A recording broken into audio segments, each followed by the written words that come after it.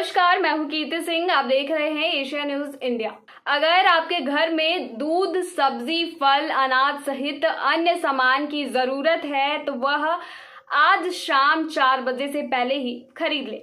क्योंकि शनिवार शाम चार बजे से सोमवार सुबह छह बजे तक दवा दुकानों को छोड़कर शेष सभी तरह की दुकानें बंद रहेगी। जी हाँ अगर दूध या सब्ज़ी विक्रेता आपके घर तक पहुँच, पहुँचते हैं तो फिर आपको कोई दिक्कत नहीं होगी, क्योंकि बंद के दौरान मूवमेंट पर किसी तरह की रोक नहीं लगाई गई है। हालाँकि प्रशासन ने लोगों से बेवजह घर से निकलने को मना किया है। प्रशासन के द्वारा इस पर सख्त मनाही रखी गई है। बंद के दौरान खनन, निर्माण, औद्योगिक प्रतिष्ठान और कृषि से जुड़े कार्य पर भी कोई रोक नहीं है। लेकिन इनमें जुड़ी दुकानें रविवार को बंद रहेगी। इसलिए अगर उक्त चीज़ों से जुड़ी सामग्री की ज़रूरत रविवार को होगी तो उसकी खरीदारी भी पहले ही आप लोगों को कर कर रखनी होगी। बंद के दौरान सरकार के निर्देशों का पालन हो, इसके लिए पुलिस व प्रशासन ने पूरी तैयारी पहले से कर ली है।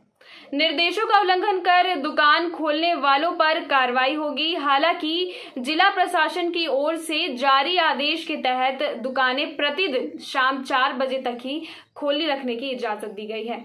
ऐसे में सिर्फ़ रविवार को दुकानें बंद रहेगी। सोमवार सुबह छह बजे के बाद सारी दुकानें खुल जाएँगी। सिर्फ़ पूर्वी सिंहभूम में कपड़ा, ज्वेलरी, जूता, चप्पल व कॉस्मेटिक की दुकानें नहीं खुलेंगी।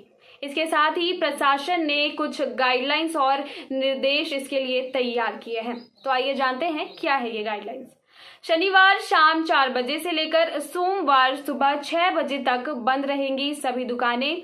खनन निर्माण, औद्योगिक प्रतिष्ठान और कृषि कार्य पर रोक नहीं, पर इनसे जुड़ी दुकानें बंद रहेंगी।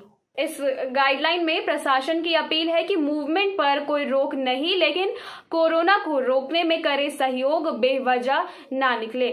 Medical shop diagnostic centre, clinic, अस्पताल पेट्रोल पंप सीएनजी पंप, रसोई गैस, रेस्टोरेंट से होम डिलीवरी की छूट, कोल्ड स्टोरेज, गोदाम, हाईवे पर ढाबा और मालवाहक वाहनों को छूट दी गई है। इन्हें किसी तरह का इन पर रोक टोक नहीं लगाई जाएगी।